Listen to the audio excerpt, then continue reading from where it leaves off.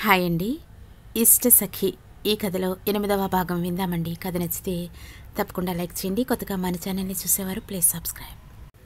మొన్న ఒక దగ్గర కూర్చుని హొక్క తాగుతూ ఉంటాడు. అతని దగ్గరికి వాడి ఇంకో పార్ట్నర్ వస్తాడు. వచ్చి పార్ట్నర్ మన కైలాష్ని చంపేశారు పార్ట్నర్ అంటాడు కంగారుగా. మొన్న కోపంగా తెలుసు. తేజ నాకు తెలుసు. మన కైలాష్ని చంపేశారు అని. తేజ కానీ న్యూస్ ఛానల్స్లో చెప్పినట్టు కాదు పార్ట్నర్. తనని చంపింది కత్తితో మాత్రమే కాదు. హై డోస్లో డ్రగ్స్ని ఇచ్చి ఆ తర్వాత కసి తీరా పొడిచి చంపేశారు పార్ట్నర్. మొన్న కోపంగా పక్కనే ఉన్న గ్లాస్ని విసిరేస్తాడు. ఆ గ్లాస్ పీస్ తేజ గొంతుకు చాలా దగ్గరకు తెచ్చి మరి ఎంత తెలిసిన వాడివి నువ్వేం చేస్తున్నావు? అంటాడు. తేజ ఆ భయంతో ఊపిరి ఆడకుండా ఉంటే చెమటలు కక్కుతూ భయం భయంగా చూస్తూ తెలుసుకుంటాను పార్ట్నర్ నాకు కొంచెం టైం ఇవ్వు అంటాడు. మొన్న ఒక్కసారి తేజని పక్కకి తోసి చావాలి. ఆ గౌతమ్ ఎలా అయినా చావాలి. తేజ వాడి చావు మీద నా కలల సౌధాన్ని నిర్మించుకోవాలి. వాడి చావు వార్త వినాలి. వాడి తల్లి తండ్రి లాగానే వాడు నా చేతుల్లో కుక్క చావు చావాలి అని భీకరంగా నవ్వుతూ అక్కడే కూర్చుండిపోతాడు. అతన్ని అలా చూసి తేజ పై ప్రాణాలు పైనే పోయాయా అన్నట్టు అయిపోయాడు. వెంటనే అక్కడ నుండి వెళ్ళిపోయాడు. కారులో ముందు గౌతమ్ సమీర వెనుక వరుణ్ అలేఖ్య కూర్చుంటారు. హెడ్ ఫోన్లో పాటలు వింటూ చిన్నగా నవ్వుతూ ఉంటుంది. గౌతమ్ తనని మిర్రర్లో నుంచి చూస్తూ ఉంటాడు. అలేఖ్య పాటలు ఆపి సారీ అంటుంది. వరుణ్ మీరు నన్ను డ్రైవర్గా ఫిక్స్ అయిపోయాక నేనేం చేస్తాను మిస్? అంటాడు. ఐఆమ్ అలేఖ్య అని వరుణ్కి హ్యాండ్ ఇస్తుంది. హాయ్ అలేఖ్య చాలా థ్యాంక్స్ దేనికి వరుణ్ గారు? అంటుంది అలేఖ్య. మీరు మా గౌతమ్ని కాపాడారు కదా. అందుకే చాలా చాలా థ్యాంక్స్ వాడు అలా కనిపిస్తాడు కానీ చాలా మంచోడు. వాడు నవ్వటం చాలా రోజులకు చూశాను. అది మీ వల్లే అంటాడు నవ్వుతూ. వరుణ్ మాటలకి అలేఖ్య గౌతమ్ని చూస్తుంది. అప్పటికే గౌతమ్ అలేఖ్యని గమనిస్తూ ఉంటాడు. అది చూసి తనకి తెలియకుండానే అలేఖ్య మొహంలో చిన్నగా నవ్వు వస్తుంది. సారీ వరుణ్ గారు. నిన్న మీరే మా సమీరని పెళ్ళి చేసుకునేవారు అనుకుని చాలా మాట్లాడేశాను. తప్పుగా అనుకుంటే సారీ. వరుణ్ అలేఖ్య మాటలకి కళ్ళల్లో నీళ్ళు తిరుగుతాయి. అలా వాళ్ళు మాట్లాడుకుంటూ ఉంటారు. గౌతమ్ వాళ్ళని అలా చూసి కార్ చాలా స్పీడ్గా పోనిస్తాడు. అందరూ మాల్కి వెళ్తారు. కార్ పార్క్ చేసి వెళుతుంటే గౌతమ్ సమీరని వెళ్ళమని చెబుతాడు. అలేఖ్య కూడా వెళుతుంటే ఓ అమ్మాయి అని పిలుస్తాడు గౌతమ్. వెళుతున్న సమీర ఒక్కసారి వెనక్కి చూస్తుంది. అలేఖ్య కోపంగా చూస్తుంది గౌతమ్ని. నువ్వు వెళ్ళు అన్నట్టు సైగ చేస్తాడు గౌతమ్. అయినా సమీర వాళ్ళిద్దరినీ అలా చూస్తూ ఉండటంతో వరుణ్ సమీర చెయ్యి పట్టుకుంటాడు. పట్టుకుని లాక్కొని వెళ్తాడు. వాళ్ళు వెళ్ళాక అలేఖ్య వెళ్ళిపోతుంటే గౌతమ్ మళ్ళీ పిలుస్తాడు అలేఖ్యని. ఓ అమ్మాయి నిన్నే అంటాడు. ఏంటి గౌతమ్ గారు? చిరాకుగా మొహం పెట్టి హే ముందు ఆ గారు అంటాడు గౌతమ్. మీ పేరు అదేగా గౌతమ్ గారు? అంటుంది సాగదీస్తూ అలేఖ్య. నిన్ను అలా పిలవద్దు అన్నానా? అంటాడు గౌతమ్. ఏ?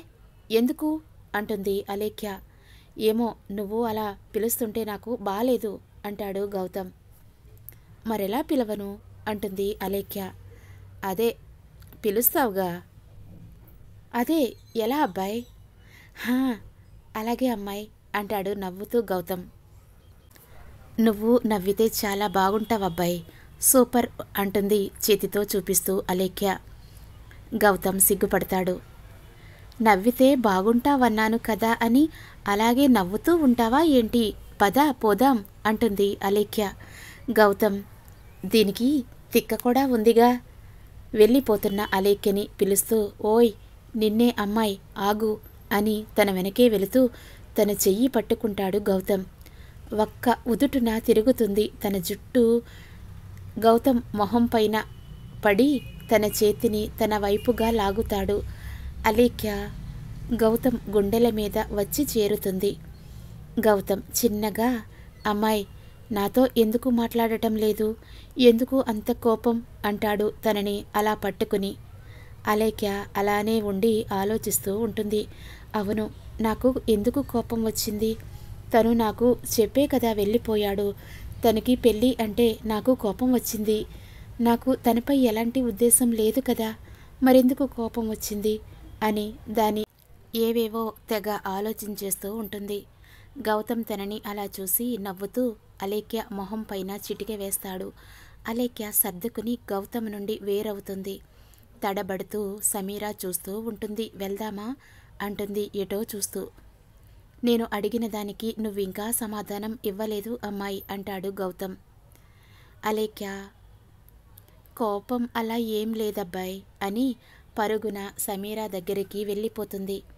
వాళ్ళు అలా దగ్గరగా ఉన్నప్పుడు మళ్ళీ ఎవరో వాళ్ళని ఫొటోస్ తీస్తారు. అక్కడ వరుణ్ సమీరా చెయ్యి పట్టుకుని మాల్ లోపలికి వెళతాడు. లోపలికి వెళ్ళాక సమీర కోపంగా వరుణ్ చేతిని విసిరి కొట్టి ఏంటి? ఎందుకు అంత గట్టిగా పట్టుకున్నావు? అయినా ఏమైంది అసలు అంటుంది తన చేతిని చూసుకుంటూ. వరుణ్ సమీరా చేతిని చూస్తూ అయ్యో ఎర్రగా అయిపోయిందే నొప్పిగా ఉందా? అని అడుగుతాడు. సమీరా కోపంగా కొందరు మనుషులు మనసుకి చేసిన గాయం కన్నా ఇదేమీ పెద్ద గాయం కాదులేండి వరుణ్ గారు. అయినా మీరు మాకు కలిగిన నొప్పి కోసం కూడా ఆలోచిస్తారా? అంటుంది వెటకారంగా. వరుణ్ సమీరా చేతిని మళ్ళీ పట్టుకుని దగ్గరికి లాక్కొని నేను చేసిన పనికి ఒక కారణం ఉంది. అది నీతో చెప్పుకునేది అయితే నా ప్రాణం అయినా నిన్ను దూరం చేసుకునే అవసరం నాకు లేదు. నీతో ఇలా ఇలాంటి దూరాన్ని ఎప్పుడూ ఊహించలేను అని సమీరా చేతిని వదిలి పక్కకు వెళ్ళిపోతాడు. వాళ్ళిద్దరినీ అలా చూసి అలేఖ్యకి అర్థమైపోతుంది. వాళ్ళిద్దరి మధ్య ఏం జరిగిందో తెలుసుకుని వాళ్ళని కలపాలి అనుకుంటుంది అలేఖ్య. అలేఖ్య వాళ్ళ దగ్గరికి వెళ్ళేసరికి కొంచెం మామూలవుతారు. ఇద్దరు సమీర అలేఖ్య చూస్తూ ఉంటారు. అలేఖ్య అక్కడే ఒక బొమ్మకి వేసిన లేత గులాబీ రంగులో ఉన్న లెహంగా చూస్తుంది. అది తనకి చాలా బాగా నచ్చుతుంది. కానీ దాని రేట్ చూసి వదిలేస్తుంది. గౌతమ్ వరుణ్కి చెప్పి దాన్ని అలేఖ్య కోసం తీసుకుంటాడు. అలేఖ్య సమీర ఇద్దరూ షాపింగ్ చేసేస్తారు. గౌతమ్ వరుణ్ ఇంకా చూస్తూ ఉంటారు. వాళ్ళ దగ్గర నుండి అలేఖ్య డ్రెస్సెస్ చూస్తూ పక్కకి వస్తుంది. అలా తను పక్కకి రాగానే కొంతమంది అబ్బాయిలు ఓయ్ వస్తావా? అంటారు. అలేఖ్య కోపంగా చెప్పు తెగుద్ది వెధవా అని తిడుతుంది. వాళ్ళు ఫుల్గా తాగితేనే గాని ఎక్కడికి రాదు కాబోలు మామ అంటాడు నవ్వుతూ. అంతేరా ఇవాళ రేపు. ఇదంతా చాలా చిన్న ఇష్యూ అని అంటూ పద బేబీ బార్కి వెళ్ళి అటు నుంచి మనం రూమ్కి వెళ్దాం అని చాలా చెత్తగా మాట్లాడుతూ ఉంటే అలేఖ్య వాడి కాలర్ పట్టుకుని how dare you talk to me like this? అని వాడిని కొట్టబోతే వాడు చాలే ఆపు నువ్వు ఆ గౌతమ్తో తప్ప ఇంకెవరితో తిరగవా? అంటాడు. అలేఖ్య ఏం మాట్లాడుతున్నారు మీరు? అంటుంది వాడి షర్ట్ వదులుతూ. వాడు మ్యాగజైన్లో తనని గౌతమ్ చాలా దగ్గరగా అదుముకున్న ఫోటో. అది అలేఖ్య దాన్ని చూస్తూనే ఏంటి ఇదంతా? అనుకుని ఏడుస్తూ వెళ్ళిపోతుంది. కాసేపటికి గౌతమ్ వరుణ్ సమీర వస్తారు. అక్కడ అంతా చూస్తారు. వాళ్ళకి అలేఖ్య కనిపించదు. ఎక్కడికి వెళ్ళిందో అని అంతా వెతుకుతారు.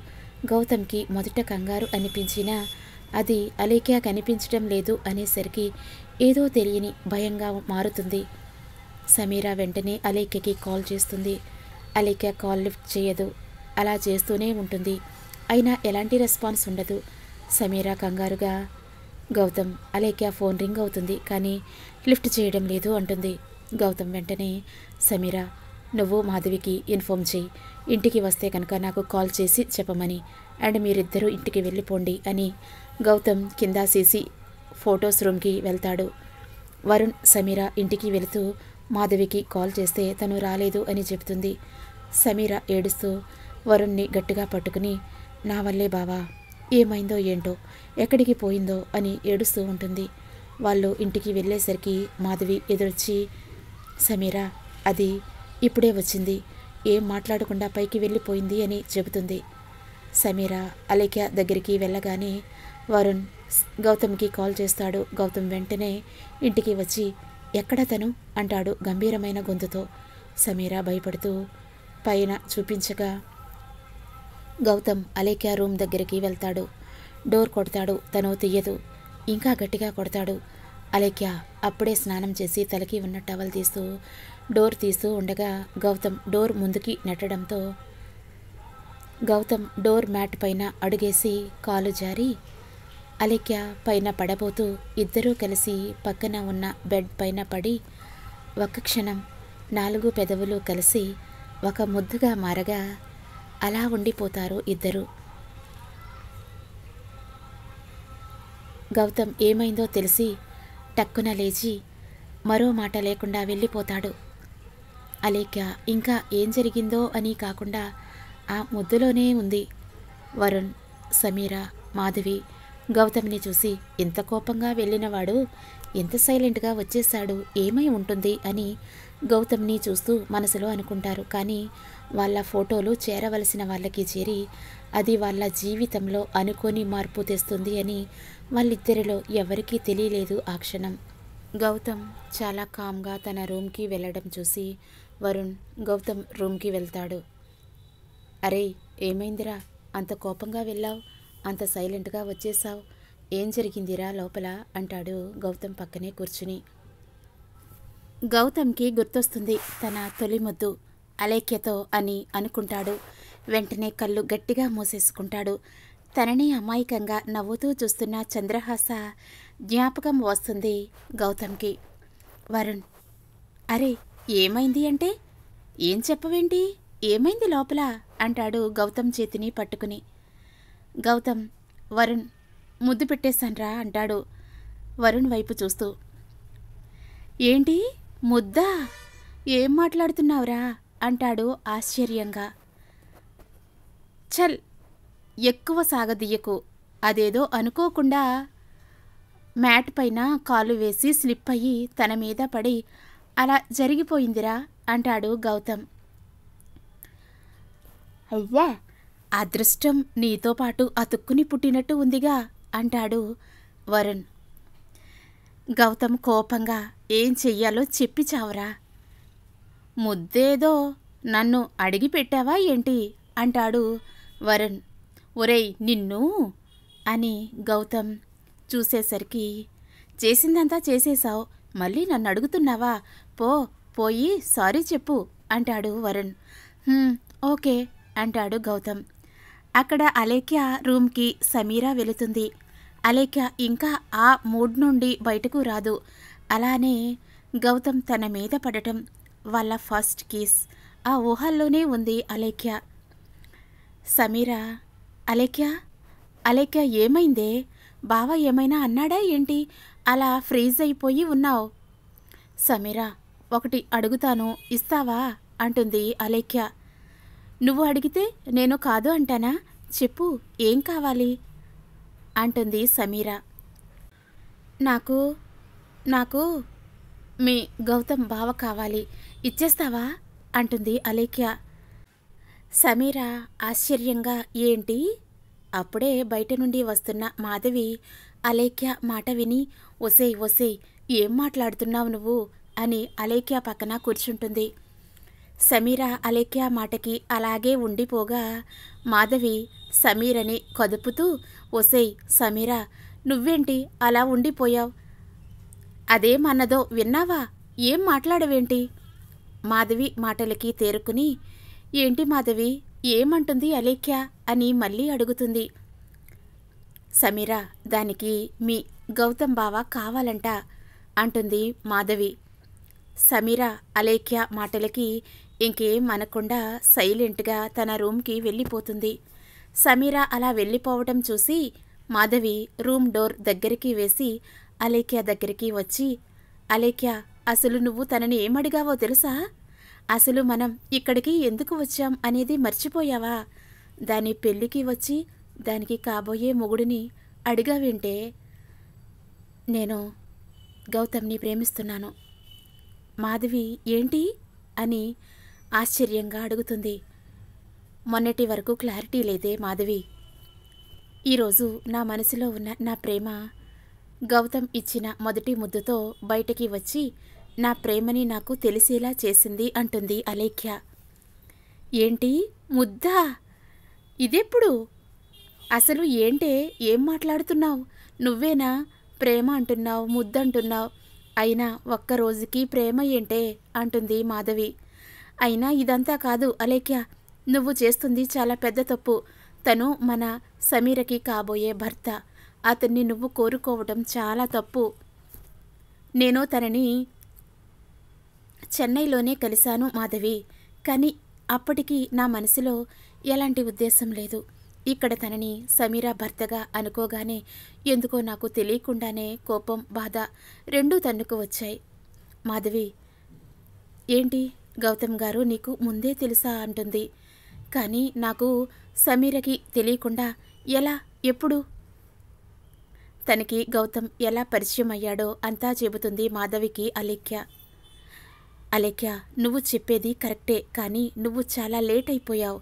నువ్వు నీ ప్రేమని దక్కించుకోవడం కోసం. సమీరా ప్రేమని తనకి నచ్చిన వాడిని దానికి దూరం చేస్తావా? అది చాలా తప్పు అంటుంది మాధవి. అలాగే ఆలోచిస్తూ ఉండిపోతుంది అలేఖ్య.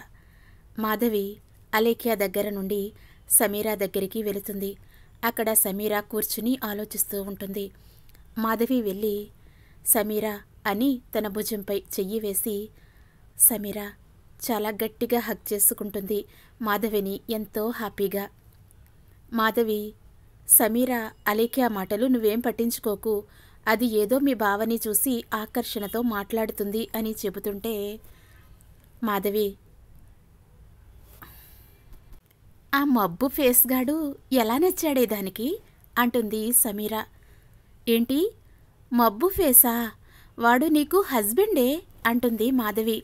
ఓయ్ వాడు నాకు హస్బెండ్ అయిపోతే నేనొప్పుకోను అయినా నా ముద్దుల వరుణ్ బావా వాడేమైపోతాడసలు అంటుంది కోపంగా మొహం పెట్టి. ఏంటి? వీళ్ళిద్దరూ నాకు పిచ్చికి పోతుంది అనుకుంటుంది మాధవి. అలేఖ్యకి సారీ చెప్పాలి అని ఫిక్స్ అయిపోతాడు గౌతమ్. ఎలా చెప్పాలి అని రూమ్లో అటు ఇటు తిరుగుతూ ఉంటాడు. అప్పుడే తన రూమ్ విండో నుండి బయటకు వెళుతుంది తన చూపు. ఎవరో బయటకు వెళుతున్నట్టు. చుట్టూ సాల్ కప్పుకుని చుట్టూ తనని ఎవరూ చూడకూడదు అనే అనుకునేలా వెళుతున్నారు. గౌతమ్ మళ్ళీ ఎవరైనా ఏదైనా ప్లాన్ చేస్తున్నారేమో అని వాళ్ళని ఫాలో చేస్తాడు. చాలా దూరంగా ఉండి తనని చూస్తూ ఉంటాడు. అలా వెళుతూ వెళుతూ ఆ మనిషి కనిపించకుండా పోతాడు. గౌతమ్ చుట్టూ చూసి ఎవడు వాడసలు? ఎందుకు మా ఇంటి నుండి వెళ్తున్నాడు? ఎవరై ఉంటారు? ఒకవేళ నన్ను ఫాలో చేస్తూ నా కోసం వచ్చి ఉంటాడా? లేక అంకుల్ వాళ్ళకి ఏమైనా ప్రమాదం ఉందా? అని అలా ఆలోచిస్తూ చుట్టూ వెతుకుతూ ఉంటాడు. చుట్టూ చీకటి నిశ్శబ్ద వాతావరణం. ఆకు కదిలితే వచ్చే శబ్దం స్పష్టంగా వినపడుతుంది. రివ్వన వీచే గాలి ఆ గాలి శబ్దానికి గుండెలు అదురుతున్న పరిస్థితి. ఒకడు చేతులకు తాళ్ళతో కట్టి ఉండి మొహం అంతా రక్తంతో ఒక కన్ను లోతుకుపోయి పెదవి చీరుకుని ఒళ్ళంతా దెబ్బలతో ఇంకా ఒక్క దెబ్బ. ఒకే ఒక్క దెబ్బ తగిలితే చాలు చచ్చేలా ఉన్నాడు వాడు. మీకు ముందే చెప్పాను కదరా పగ నాది. ప్రతీకారం నా. మీరు మీరు బిజినెస్ గొడవలు ఉంటే వేరేలా చూసుకోండి కానీ వాడి చావు నా చేతిలోనే అర్థమయ్యిందా? వాడి చావు కోసం మాత్రమే కేవలం వాడి చావుకు చూడటం కోసం రెండు ప్రాణాలు చూస్తూ ఉన్నాయిరా.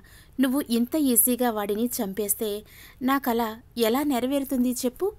ఒక్క మాట. నీకు నాకు ఎలాంటి గొడవలు లేవు. నువ్వు నాకు శత్రువివి కూడా కాదు. కేవలం నా మీద నువ్వు చెయ్యి ఎత్తడం నువ్వు చేసిన పెద్ద తప్పు. అవునరా. నన్ను నువ్వు చంపితే నా పగ ఇలాగే ఉండిపోతుంది.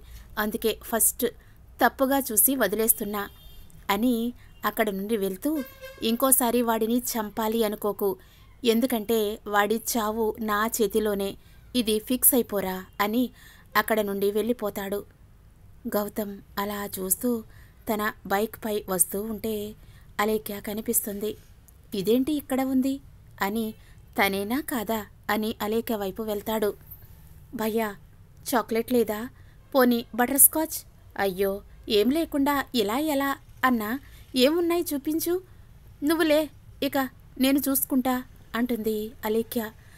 వాడు అమ్మా తల్లి ఉన్న వాటిని తిప్పి తిప్పి చూసావు నేను లేవు అన్నానా? ఇప్పుడెక్కడ నుండి వస్తాయి చెప్పు నా కర్మ అని తిట్టుకుంటున్నాడు. అలేఖ్య సర్లే ఉన్నవే ఇవ్వు ఏం చేస్తాను? అని వాడు ఇస్తుంటే తీసుకుని అక్కడే ఉన్న బెంచ్ పైన కూర్చుని తింటూ ఉంటుంది. గౌతమ్ తనని చూస్తూ ఉంటాడు. దూరం నుండి తను చేసే అల్లరిని గమనిస్తూ ఉంటాడు. అప్పుడే మొదలైన వాన తుంపరలు మేనిని తాకుతున్న చల్లని గాలి. మబ్బుల చాటున దాగి కనీ కనిపించకుండా తొంగి చూస్తున్న చందమామ. ఆ వెలుగులో చిన్న పాపల ఎంతో ఎంజాయ్ చేస్తూ తింటుంది. తన చుట్టూ ఎవరూ లేరు అనే భయం లేదు. నాకు నేనే తోడు అని అనుకునేలా ఎవరికీ సమాధానం చెప్పాల్సిన పని లేదు అన్నట్టు ఎంతో ధీమాగా ఉంది తన ప్రవర్తన.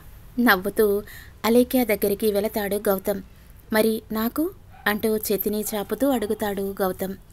అప్పటికి అలేఖ్య అది కంప్లీట్ అయిపో అయిపోవడంతో నోట్లో మొత్తం పెట్టేసుకుంటుంది.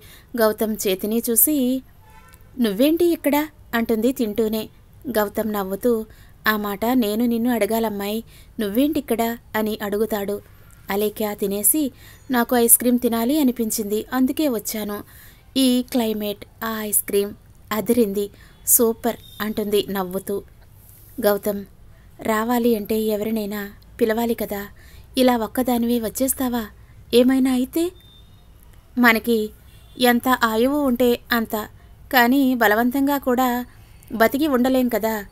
చావు మనకి ఎంత దగ్గరకు వచ్చినా నవ్వుతూ వెళ్ళిపోవడమే. అంతకు మించి నువ్వు ఆపలేవు నేను ఆపలేను. అంతే కదా? అంటూ గౌతమ్ని చూస్తూ అంటుంది. గౌతమ్కి చంద్రహాస యాక్సిడెంట్ గుర్తొచ్చి కోపంగా అలేఖ్య భుజాలు పట్టుకుని ఎందుకు చనిపోవాలి? తన లైఫ్లో ఏం చూసిందని చనిపోవాలి. చావుని చూడాల్సిన వయసా తనది? నన్ను ఇలా వదిలేసి ఎందుకు వెళ్ళిపోయావు చంద్రహాస? అమ్మ చెప్పింది ఎప్పటికీ నాతోనే ఉంటావని కానీ అమ్మ ఇచ్చిన మాటని నువ్వు తప్పావు. నాకు నువ్వు కావాలి నీ ప్రేమ కావాలి. నీతో నా లైఫ్ ఫుల్ఫిల్ చేసుకోవాలి నా కోసం. మళ్ళీ రావా చంద్రహాస? అని అలేఖని గట్టిగా కౌగిలించుకుంటాడు. అలేఖ్య గౌతమ్ మాటలకి తన నుండి మాటలు రావు. చిన్నగా కళ్ళల్లో నీళ్ళు అలుముకోగా అబ్బాయ్ అంటుంది నెమ్మదిగా ఓయ్ అబ్బాయి నిన్నే. నేను చంద్రహాసని కాదు. కాదు." గౌతమ్ గట్టిగా ఊపిరి తీసుకుని అలేఖ్యని వదిలి పక్కకి తిరిగిపోతాడు కొంచెం సెట్ అయ్యి వెళ్దామా? అంటాడు. ఇద్దరు నడుస్తూ ఉంటారు. నువ్వు లవ్ ఫెయిల్యూర్నా? అంటుంది అలేఖ్య గౌతమ్ని చూస్తూ. వాట్? ఏమన్నావు? అంటాడు గౌతమ్. హా నువ్వు విన్నది కరెక్టే. నువ్వు లవ్ ఫెయిల్యూరా? అని అడుగుతున్నా అంటుంది అలేఖ్య. ఎందుకలా? చంద్రహాస ఎవరు? నీ లవరా? అది నీకు అనవసరం అంటాడు గౌతమ్. నాకే అవసరం అబ్బాయి. నీకు ప్రేమ అంటే ఏంటో కూడా తెలీదు. అందుకే నీ లైఫ్లో ఒకరికి కాకపోతే మరొకరికి ఛాన్స్ ఇస్తున్నావు కదా అంటుంది కోపంగా అలేఖ్య. హే నీకేమైనా పిచ్చా? ఏం మాట్లాడుతున్నావు అసలు? నా కోసం ఏం తెలుసు అని ఇలా మాట్లాడుతున్నావు? అంటాడు గౌతమ్. నాకు తెలుసు. నాకే తెలుసు అబ్బాయి. నీ నోటి నుండి నువ్వు పరిచయం అయిన దగ్గర నుండి చాలాసార్లు విన్నాను ఒక పేరు. ఎవరిదో తెలుసా? చంద్రహాస. నువ్వు చంద్రహాసని చాలా ప్రేమిస్తున్నావు అనుకున్నా. ఆ అమ్మాయి చాలా లక్కీ అనుకున్నా. కానీ నువ్వు సమీరతో పెళ్ళి కొప్పుకున్నావు అని తెలిసాక నిన్ను ఒక మంచి మనిషిలా చూసి చాలా పెద్ద తప్పు చేశాను అనిపించింది అని చాలా కోపంగా చెబుతుంటే గౌతమ్ అలేఖ్యని చూస్తూ నవ్వుతున్నాడు. హలో నేను నిన్ను సన్మానం చేస్తాను అనుకు అనలేదు. ఓకే? అంటుంది. గౌతమ్ నవ్వుకి కోపం వచ్చి నాకు నీ మాటల్లో నా మీద కోపం కన్నా నీ ఫ్రెండ్ లైఫ్ కోసం నువ్వు ఎలా ఆలోచిస్తున్నావో బాగా తెలుస్తుంది అంటాడు Gautam. And one more thing నాకు నా లైఫ్లో చంద్రహాస కన్నా ఏది ఇంపార్టెంట్ కాదు. నేను నా చంద్రహాసని తప్ప ఇంకెవరికి నా లైఫ్లో నా హార్ట్లో ప్లేస్ ఇవ్వను. ఇకపోతే సమీర. సమీరతో పెళ్ళి ఫిక్స్ అవ్వడం నిజమే కానీ అది పెద్దవాళ్ళకి కరెక్ట్గా అసలు విషయం తెలియక జరిగింది. అండ్ వరుణ్ సమీరా ఒకరిని ఒకరు ఇష్టపడుతున్నారు అని సమీరా తనకి చెప్పింది అంతా చెబుతాడు గౌతమ్ అలేఖ్యకి. అక్కడ సమీరా సేమ్ మ్యాటర్ మాధవికి చెబుతుంది.